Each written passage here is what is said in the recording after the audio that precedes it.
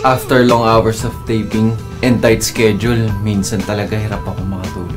But because of JC Premier Organic Barley Juice, kahit konting tulog lang, I feel refreshed and ready for work. Being in the showbiz industry, kailangan lagi akong focus and on the go. This is why I drink JC Premier Organic Barley Juice.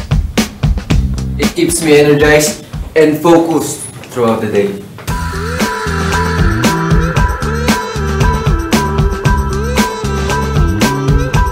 Also boosts my immune system, keeping me active and healthy. And with all of this, I still get to enjoy life more. Healthy lifestyle has never been this good. This is my JC Premier lifestyle.